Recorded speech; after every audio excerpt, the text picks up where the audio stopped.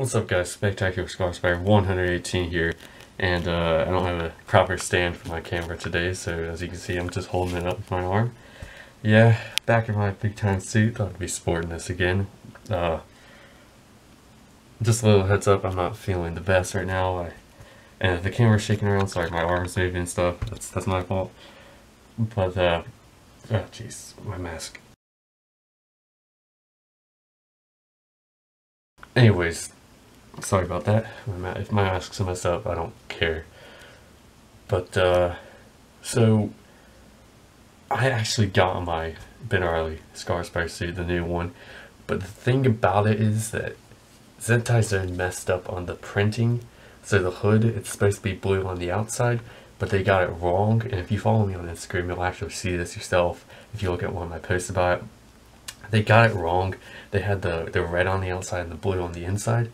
So that was incredibly wrong. Now I had two options to do what to do with this.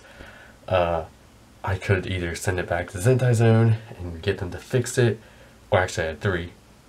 That's one option. Another option is that I could, you know, send it, well, not send it back to, I already said that.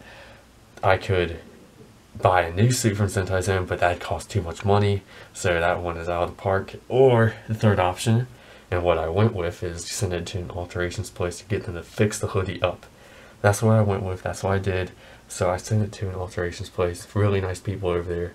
They're actually working on it right now. If you follow me on Instagram, you'll actually know that I, you know, if you follow me uh, there and you look at my story, you'll see that I, put that on my story that they're fixing it up and stuff. But uh, just gonna switch hands right here because it's getting tired. Ah. So yeah, that's the deal with it. Now, if you actually want proof that I have the suit, yeah. Here's the mask right here. I'll be doing a review on the suit when I get it back uh, in a couple days. So yeah, that's just a short little video. Sorry my voice is a little weird. It's kind of sick right now, but